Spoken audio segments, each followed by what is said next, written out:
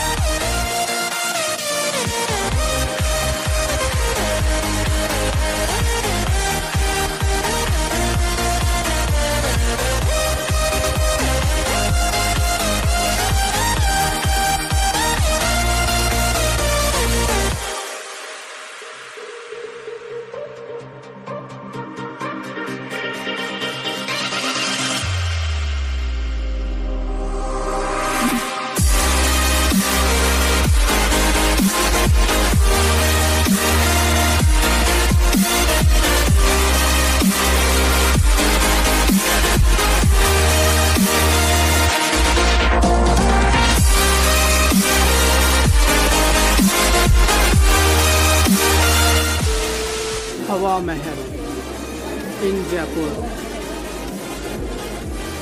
looking so nice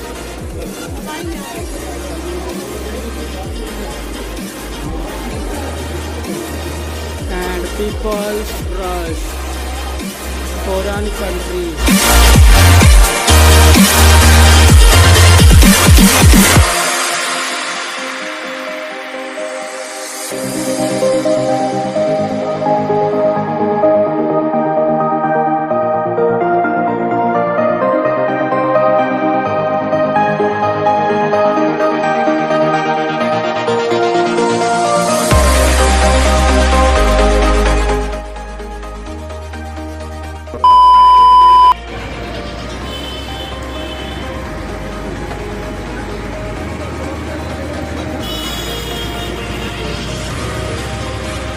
Bradford.